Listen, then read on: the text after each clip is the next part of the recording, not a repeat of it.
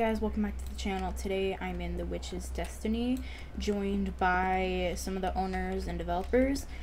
Today I'm going to be doing a Maggie Vera showcase, because she just came out. Alright, so this is her idle. This is her, like, walk animation. yes! Um, and then, yeah. So her first keybind is Sleep Induction, which looks like this. It puts the target to sleep for 30 seconds, and it damages them, like you see. Next we have Combat. Which looks like, which like punches people. Next we have Emotional Outburst. This is like a big blast. Next we have regeneration.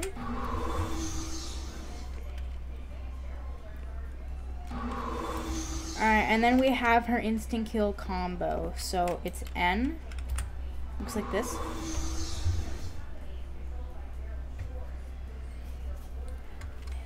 Pain inflicts them. And then why not? Throw a knife right there. Dead. But obviously since Lilith is Lilith, she'll just come back. Next we have Anxiety Inception, which is V. Makes the target anxious to uh, so the character can't use their abilities for one minute. It's the V keybind. So she can't use her abilities for one minute.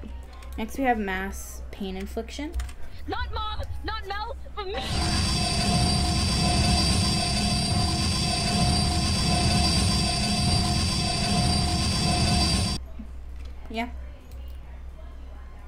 Let's look on to her spells now.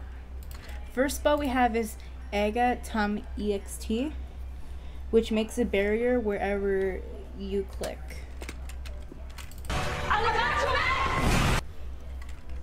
So, for example, there's a barrier here now. It's pretty strong. I don't know how long exactly it stays up for, but it can stay up there for a while. Next, we have her resurrects, uh, resurrect.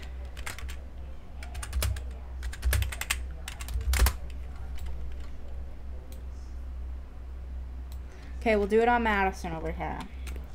The spell is Between all realms exists a line that keeps my family tree entwined. By the family bond we share, my strength be your strength, family forever. Between all realms exists a line that keeps a family tree entwined. By the family bond we share, my strength be your strength, family forever.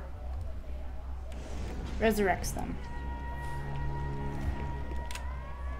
And her last spell is let me find it for y'all.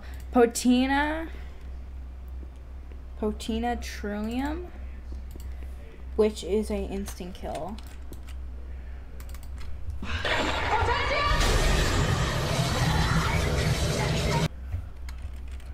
Ignite, annihilate her.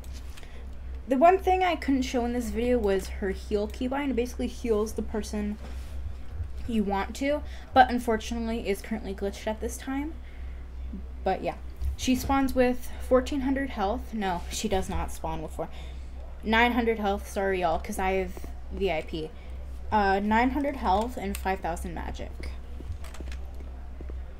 Uh, she is currently 600 Robux. She, in my opinion, she's really good. She unfortunately does not have any immortality, I don't think.